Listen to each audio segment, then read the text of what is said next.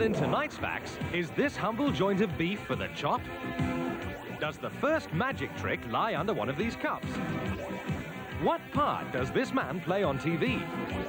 Who will be the next star of this gong show?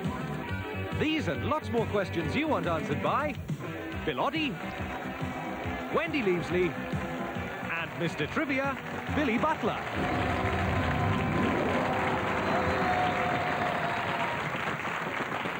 Very much. Thank you, and welcome to the very last Fax. Now, today is, of course, Friday, March the 7th, and on this date, in 1897, cornflakes were first introduced to the world by John and Will Kellogg. They were two brothers who were vegetarians and Seventh-day Adventists, and they ran Battle Creek Sanitarium in Michigan, and they invented cornflakes as a health food. And on the 7th of March 1935, 50-year-old Malcolm Campbell improved on his own world land speed record for the eighth time. He took the record in 1924 in Bluebird when he reached 146.16 miles per hour. But 51 years ago today, he was up to 276.82 miles per hour. And by the 3rd of September the same year, he topped 300 miles per hour. 301.129 to be exact. And the official land speed record currently stands at a staggering 633.468 miles an hour, achieved by Richard Noble in Thrust 2 on the 4th of October 1983, which came as a great shock to his wife. They're only going shopping.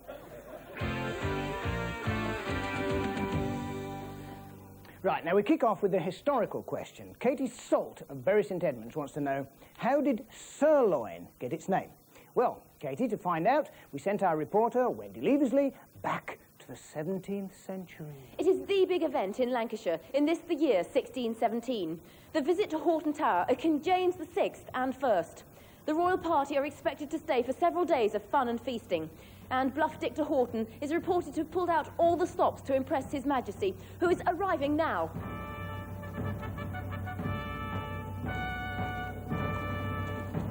James, could you give a few words to Fax News, please? Oh, no, no, no, Wench, there's no time for interviews. Us kings haven't the time to spare. There's a lot at stake here. Get it? Onward, lads! Ah. As well as being fond of meat, the king is a great sportsman. He and Bluff Dick are planning to hunt all day. King James is set on bagging a deer.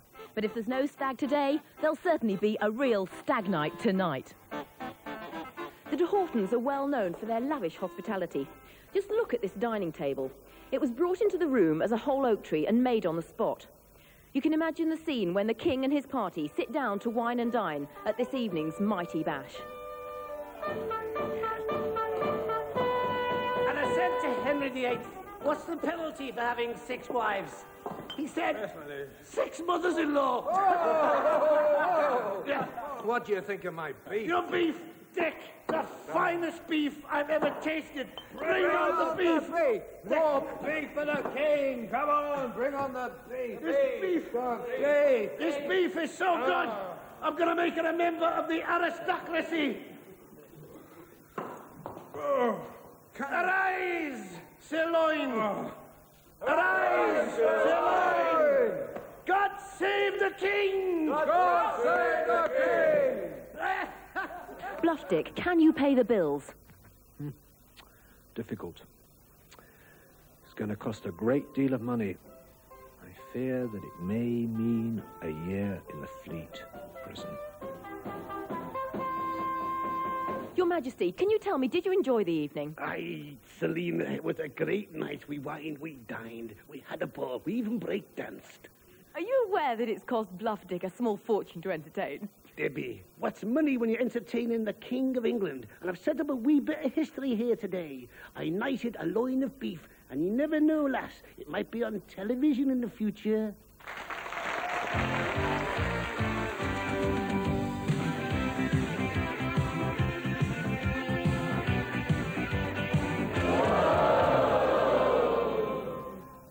Now, ladies and gentlemen, before your very eyes, some prestidigitation, or conjuring to you lot.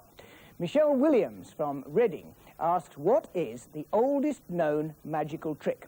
Well, Michelle, the oldest trick known to magicians is the cups and balls. Performing it can be traced way back through the ages. It was even found inscribed on the walls of the burial chamber in Beni Hassan, Egypt in 2500 BC. And artists have often depicted conjurers performing the cups and balls trick. Now, the most famous of these is a 15th century painting called The Juggler by Hieronymus Bosch.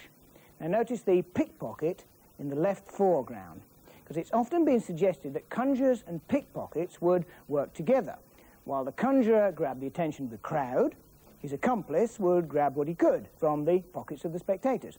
And even after thousands of years, this trick is still performed today. So, to show us a modern version, we've invited back magician Wayne Dobson without his pickpocket. Yes?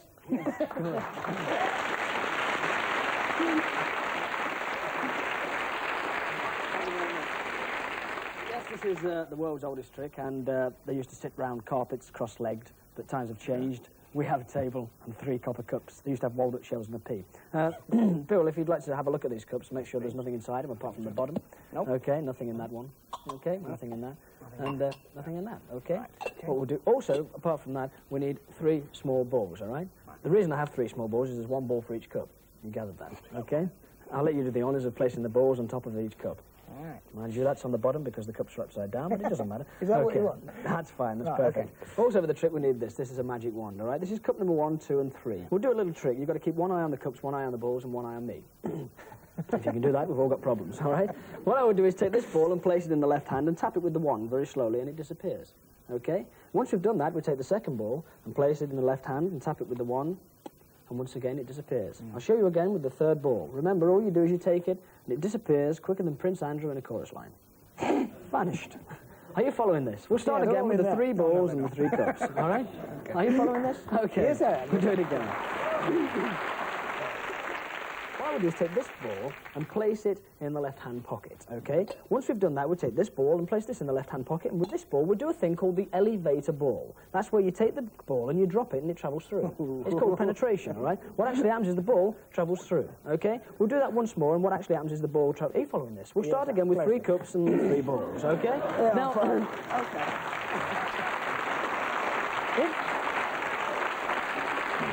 if I place if I place this ball underneath this cup and this ball over here, this is the ball we don't need. Now with this ball, I will take it, and a lot of people say that when I do this trick, I place the ball in the left hand and do a strange thing, and it's not really there, but it's over here. Hmm. You'd be quite correct in some ways, but if I actually took the ball and placed it in the left-hand pocket, or the right-hand pocket, shall I say, and give the pocket a flick, the ball travels through and appears underneath the cup. Now I'll do that again. I will take the ball, I'll place it in the left-hand pocket, give a flick, and when you flick, all three balls are under the oh, centre cup. Now what we'll do is this is ball number one, ball number two, and ball number three, okay? We have three balls. I'll place them into the right-hand pocket. Now which cup would you like the balls to appear underneath? I'd like them all under there. Correct, but it changes into a lemon, Oh, all right? And this one is a lemon, and this one is a lemon, and this one is a lemon, and what we have is three lemons, all right?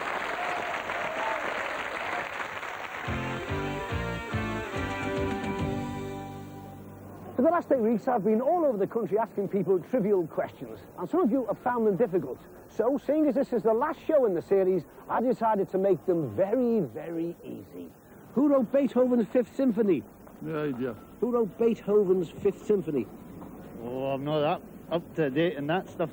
Could you tell me who wrote Beethoven's Fifth Symphony? Tchaikovsky. What's the surname of the Nolans?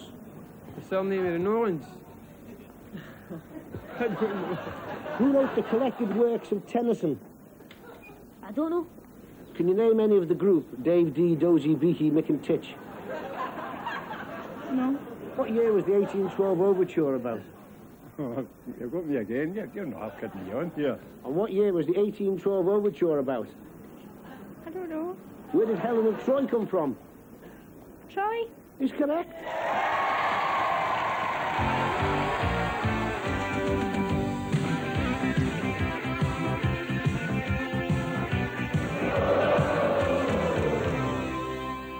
Silliest so far. Now, have you ever wondered where all the bits and pieces come from that you see dressing the sets in television programs?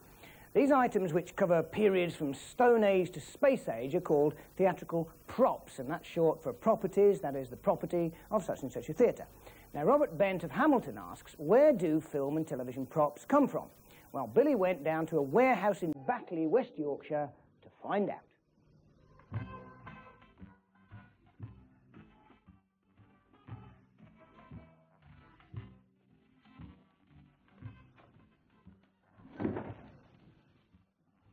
Bet you the soup's good here. You there, Leon? Hello, yes. What, what can I do for you? Oh, there you are. So that's what happened to the mother-in-law. Leon, we've had a question from a viewer about props. I believe you've got quite a few. Well, uh, with five warehouses here, it's a wonderful prop, yes. Could you show me around? I don't see why not. Yes, with wonderful. pleasure. Let's yeah, go. Okay.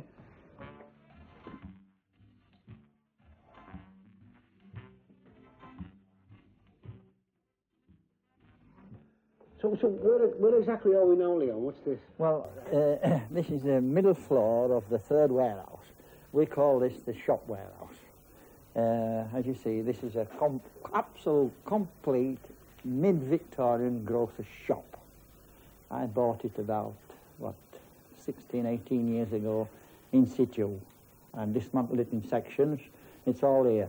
So the companies don't use just use the stuff you've got. Sometimes they'll use the whole thing as a complete set. Oh, it's, yes, it's, it's actually been to America and, and block uh, by Walt Disney's. The entire lot went over to America and back again. Because it's, it's not all from the early Victorian, because there's some stuff there that I remember. Ah. and I'm pretty young. Now, And it- it is a mid-Victorian. I bought it in mid-Victorian, but you see, my business is props. And uh, for instance, if you wanted the 1950s Nescafé tin, I have one. And if you wanted the HP sauce, of, they keep altering. And even now we're, put, we're putting plastic things away for when I've gone and somebody else has got this business. You see what I mean? Say what? I mean, now just props. They made the ciggies a lot bigger than days, didn't they? Not that I've got out of it. Not Yeah. get a cough smoking Yeah, a packet yeah, of them, yeah. wouldn't you? Mm, you would, you would. This looks like a stuffed Bill when did you last hire him out? Uh, about a fortnight ago, he came back from uh, Granada. It was on Coronation Street. That must have been when Mike Baldwin was off. It's gone up the stairs. Oh, okay. Yeah. Oh, steady does it. Watch out. Drops all over the place. Yeah. So, Leon, what's the most unusual item you've ever been asked for? Well, I would say uh, that goes to uh, BBC One Manchester, one by one. The uh, head buyer phoned me, Leon, he says, can you get me out of trouble? Have you got an elephant skull? and he was surprised. I said, we have one, yes. There, eyes open. I'm told that's normal, this drug. Oh.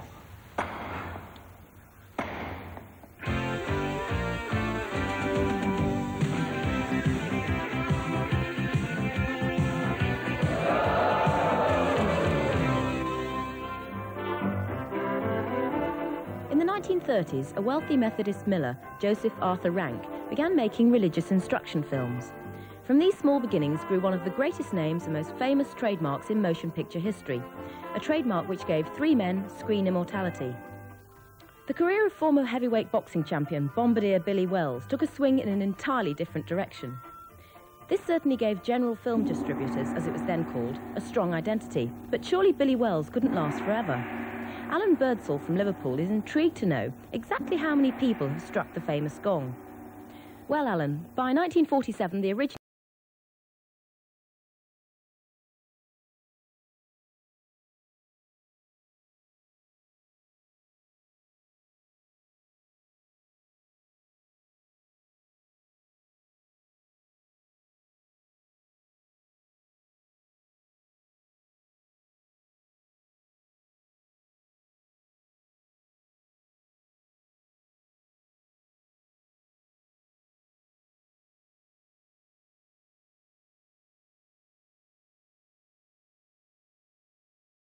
Another worn negative meant a new symbol was needed. So the search for Gongman number three started at Pinewood Studios. I was working at Pinewood Studios at the time when I had to supplement my income as an amateur wrestler. And that's why I got involved in uh, film work. At the time, J. Arthur Rank were looking for a new trademark. They had to reshoot the uh, trademark. They obviously wanted someone with a good physique, and therefore they approached me and asked me would I be willing to carry it out. Of course I would. When I see myself on the screen today in something that was done 30 years ago, I'm inclined, like a lot of my friends, to say, ah, there's Ken Richmond, I know him.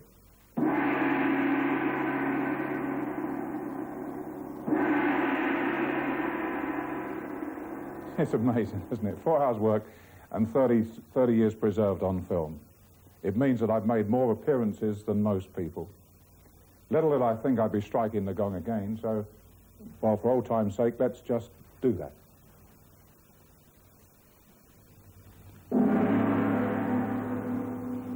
Alan, there have been three gong men so far, but of course, sooner or later, they're bound to need a fourth. So we thought we'd audition some suitable candidates here and now before your very eyes. Ladies and gentlemen, Fax proudly presents the 1986 Eurovision Gong Contest.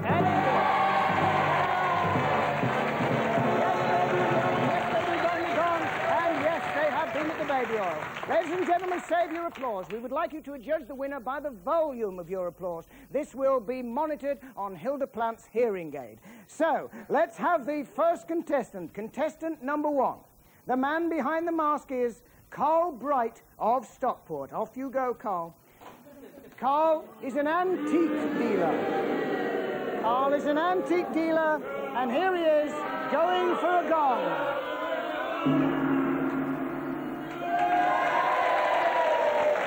Next, contestant number two, contestant number two is Paul Cook of Levenshulme. In real life, Paul Cook is a chef.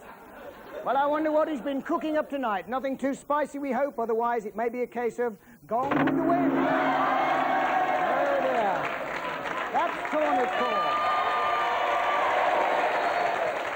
And contestant number three is Gary Milnes of Manchester. In real life, Gary is an aircraft fitter.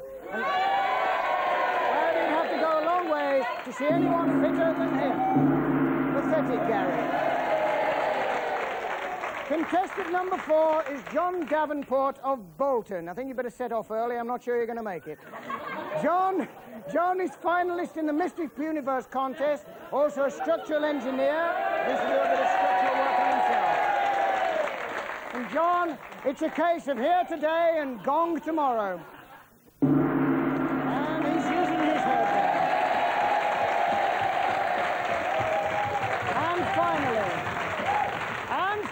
Please, ladies and gentlemen, welcome contestant number five. He is Terry Holt, and he's from Oldham. Terry.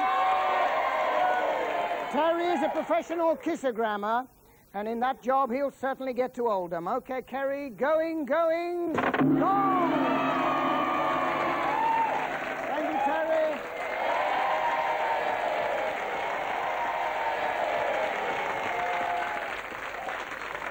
Right, I think we have a winner. I'm sure they're very nervous, very anxious to find out. Well, lads, I shall re- announce the winner in reverse order. It is, in fact, Holt Terry. Terry Holt. Terry. Holt, Well, well, well. Yes, I can see they're seething over there. You must be very, very oh. excited. You've got a very exciting year ahead of you. What are you looking forward to most? I'm looking forward to meeting lots of people and travelling to faraway places like Bangkok and Hong Kong.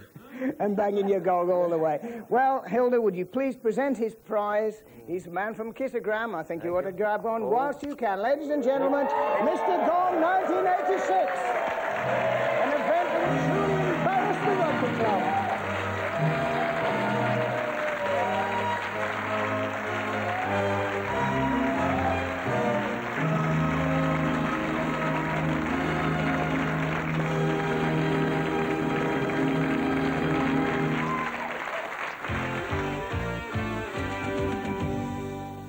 Now it's Trivia Challenge time, and it's your last chance to get your own back on me. We've got several callers on the line with their questions on the subject of science fiction.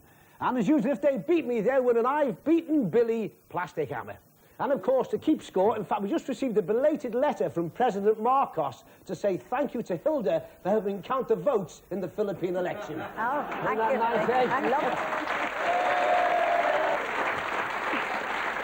Well, Taylor, would you plug the first caller in, love? Switchboard's just there behind you. Yes, Billy. That's it, thank you. And our first caller is Brian, Prince of Staffs. Hello, Brian. Hello there, Billy. Right, what's your question? Who played the Gemini Man in the series of the same name? It was the man out of Smith and Jones, wasn't it? Ben Murphy. That's correct, Billy. Thank you, Brian. And Dawn Oliver of Staffs. Hello, Dawn. Can you please tell me who played Luke Skywalker in Return of the Jedi? Mark Hamill. Correct. Well, thank you.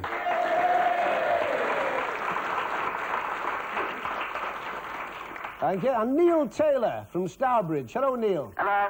Could you tell me what the letters and numbers on the side of the USS Enterprise Are you, the program Star Trek? are you, what you want is the numbers that are on the front of it, which is the license number of it, so that the Captain Kirk goes to the right spaceship when he parks it. Is that what you want? Yeah. Pardon? Yeah. Next caller is... Do you know what? I've just forgotten that one, Neil. So what was it, smart Alec? Uh, it was NCC Yes? 1701. I remember it now. It's NCC 1701.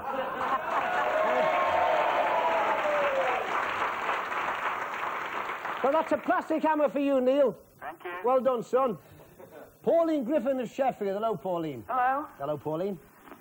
Uh, in Doctor Who, what do the letters of the word TARDIS stand for? Um, time and relative Yeah. dimension in space. Yeah. Thank right. you.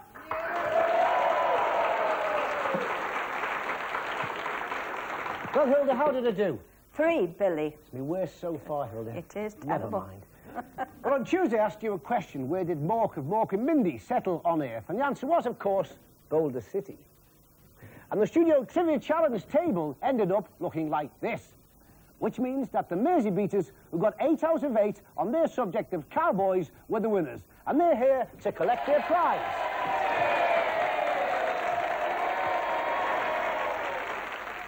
And in true tradition of great Fax prizes, I'm very pleased to tell you, lad, your prize is a great one. You've won your own private box at Wembley Stadium, and here it is.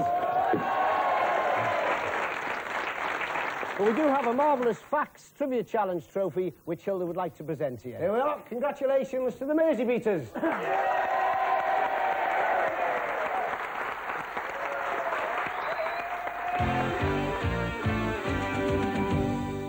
And that's all from Fax. We've enjoyed doing the show very much indeed, and we hope that you've enjoyed watching it. Yes, and many thanks for the thousands of letters and telephone calls we've received from you. And I know you're going to miss my cute face. And I hope you've taken part at home with my trivia tease and trivia challenge. You know, it's not always easy getting people in the streets to answer our questions, even though it seems to be. Can I ask you a few questions about nursery rhymes, madam?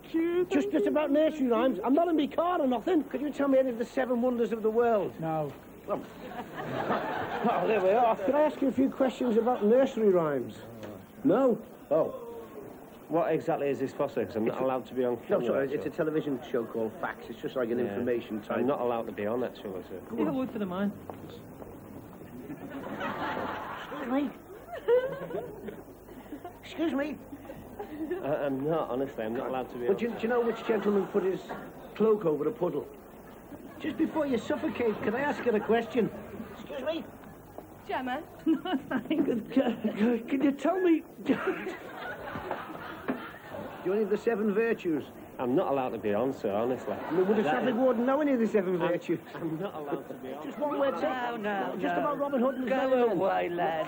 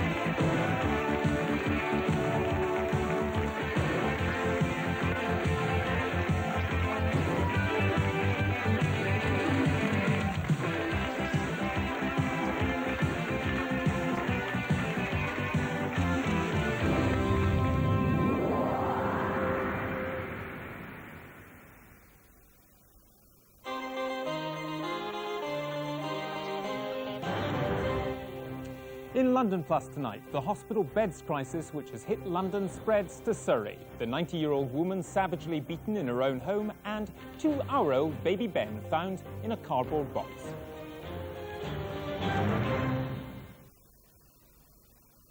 This is BBC One.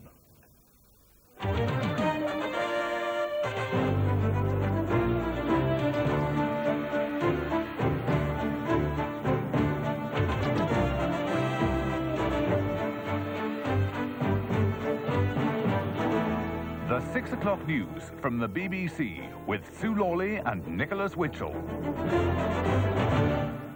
Good evening. The headlines at six o'clock.